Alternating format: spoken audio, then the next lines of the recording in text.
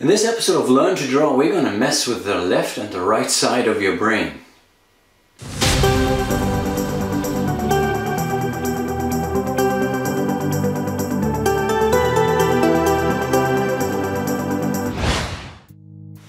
Hey, hey, welcome back. Episode 3 uh, of Learn to Draw with me. and this time it's going to be a little bit different because I'm using a, li a, little different editing style and less of this green screen thingy. But we're going to get right to it, so uh, enjoy. We'll try two exercises today and the theory behind those exercises is that uh, it depends on the job at hand whether your right side of the brain or your left side of the brain will, you know, pick that job and do that task. A Sudoku puzzle will most likely be more left side work, logical side work. Drawing, if you are a beginner, will probably also be snatched by the left side. So we have to kind of trick your brain so that hopefully the right side will take over We'll have to trick your left brain to turn down the job and let the right brain do it. First, the vases and faces exercise. You've probably seen this optical illusion drawing before that can either be recognized as two faces looking at each other or a vase in the center. Download the example file. The link is in the description below. Choose the image file that best suits you, whether you're lefty or righty, and you know, print it out. So redraw and name the parts as you move along the line. Forehead.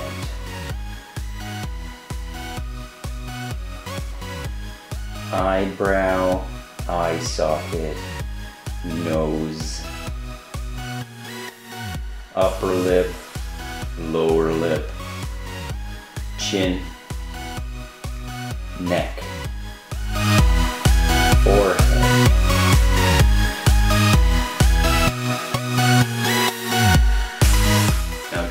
missing profile.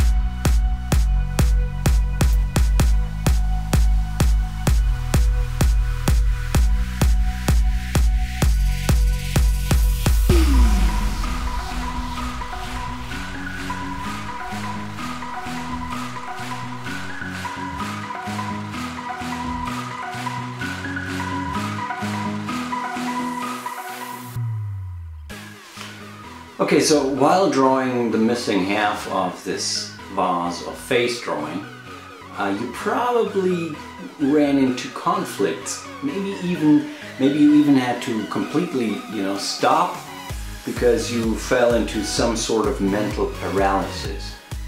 And this is because your two brain halves kind of like uh, collided, you know? Uh, the left brain wanted to, you know, name all this stuff and your right brain actually wanted to measure the angle and the curve and the lengths of the line uh, to actually complete the perfect mirror reflection uh, of the image at hand. So how did you solve the problem? Did you experience any of these conflicts that I mentioned? Did you uh, stop thinking names? Did you try to focus on whether it's a face or more like a boss? Where, where, where, did, what did you focus on when you were drawing this missing half? Um, and well, maybe you started to use a grid. Maybe you started to use a ruler. Maybe you kind of like squinted your eyes. What did you do to complete the task? Or did you give up? I don't, I hope you didn't give up, did you?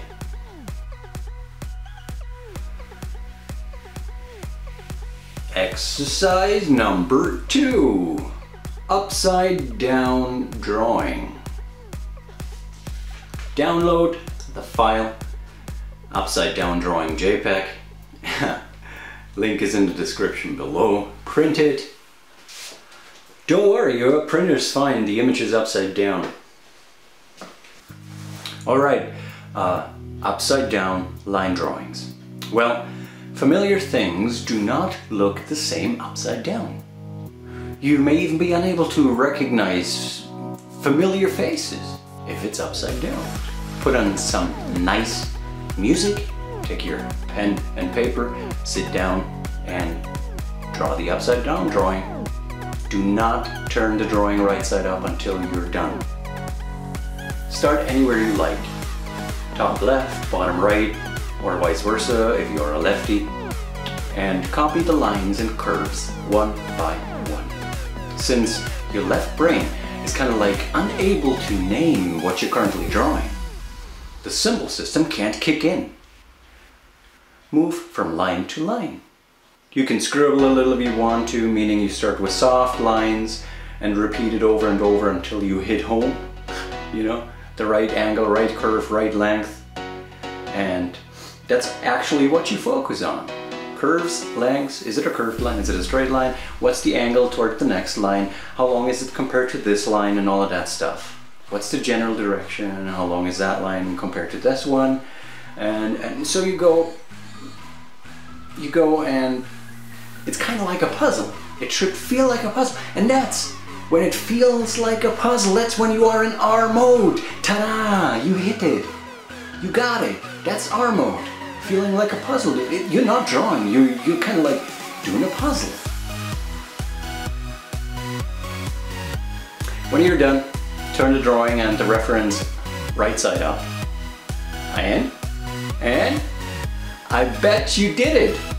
I bet your drawing looks very good. I knew you had it in you. Everyone can draw. It's just a damn symbol system that, that, you know, keeps you from copying what you see. And as soon as you do that, because you have no other choice, your drawings look great. That's it for today. Let's recap. You did the vase versus face drawing to cause a collision in your brain that would actually make you pause. So if you want to do that again, uh, just to kind of like observe what's going on in your head while you're doing it. And also maybe to figure out how to copy lines and right angles in a very simple way. Uh, I'd appreciate any feedback you can give me on what your experiences are during this exercise. And uh, well, exercise number two, upside down drawing, I think was pretty good proof that you can actually draw. You can actually, you can download whatever kind of uh, line drawings you want from Google, you know, just search for line drawings and then, then print them and, you know, turn them upside down and then draw them. You can do as many of those as you want. It's good exercise. and you're probably gonna be surprised how good you actually are copying uh, lines lines in the right angle, direction, and, and, and length is not so hard. What's only hard is when your left wrong side kicks in and kind of like makes you draw something that is not really there, but it's just something that your brain makes up. So uh, any feedback appreciated.